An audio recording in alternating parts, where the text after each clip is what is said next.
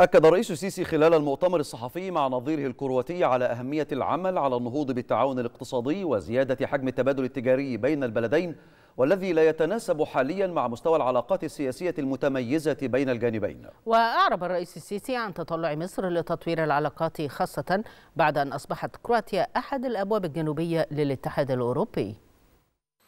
وأكدنا كذلك خلال المباحثات أهمية العمل على النهوض بالتعاون الاقتصادي وزيادة حجم التبادل التجاري بين البلدين الذي لا يتناسب حاليا مع مستوى العلاقات السياسية المتميزة بين الجانبين والتي نتطلع لتطويرها خاصة بعد أن أصبحت كرواتيا أحد الأبواب الجنوبية للاتحاد الأوروبي الأمر